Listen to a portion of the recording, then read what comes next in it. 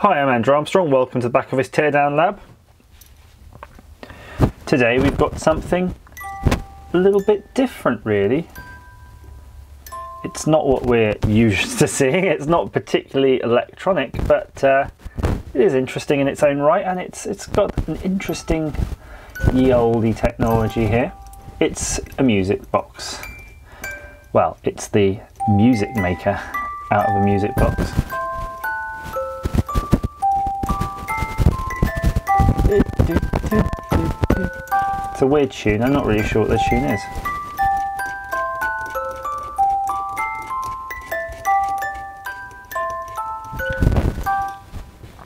So, you've got a wheel here which has lots of pins and they're clearly hitting these. I'm just going to move the mic so you can get a better sound.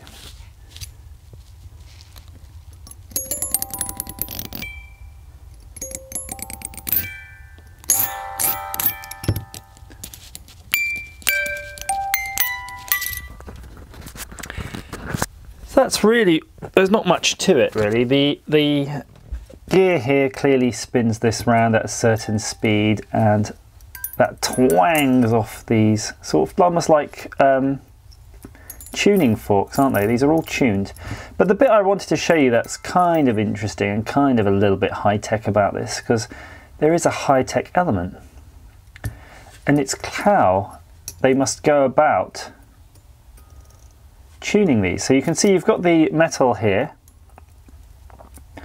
and they're actually thicker.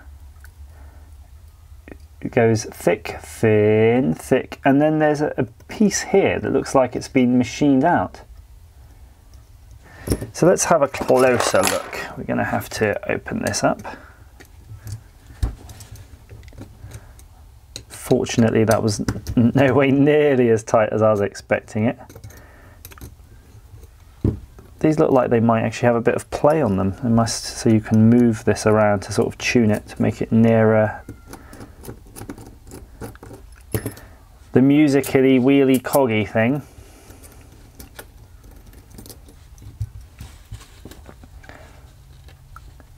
So that's better. Now you can actually see the profile. I was trying to describe it so ineloquently before. So it's a strange wedge shape here.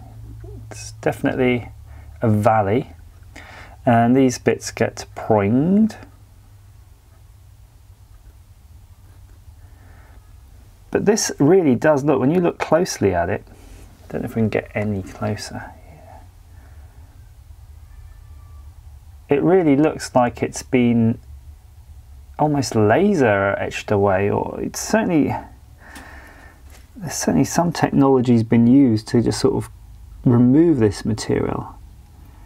I think it's it's more high tech probably than a Dremel. It really could have been a laser. Perhaps something does twang these and then somebody or a machine just sort of etches this away to tune it. Can't hear anything at all now, it's not sort of screwed down. So if we pop that back on, there's another interesting phenomena I noticed. And that's, you know when you think of something like a guitar, Oops, sorry about the focus. If you think of something like a guitar, you know it's got that big, weird back on it. Not an electric guitar, an acoustic one. And we all know that the body of a guitar or a violin or any of those sorts of instruments are designed to make the sound louder because it resonates. And the same applies for these. So I just put this back on, we might need to make a final adjustment here. Yeah, seems close enough, doesn't it? Let's tighten that up. Now I can't really tell how loud this is. But I'm going to assume it's, it's pretty quiet. So I've got to the side of me here a box. It's just an empty metal project box. Pop it on the top. And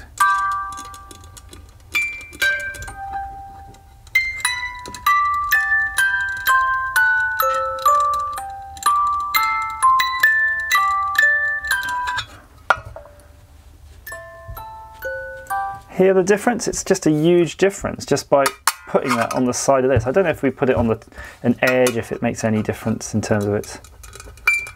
Oh, that's even louder.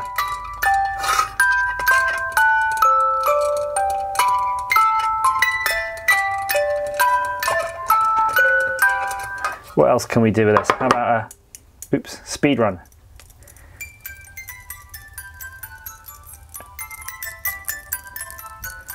Oh, I think that's probably about as much experimentation as you can do with one of these, but they're, they're really cool. I would, I think um, with the right 3D printer and uh, printing files, you could probably 3D print these. In fact, I'm really sure you could. Someone probably has. Oh, you can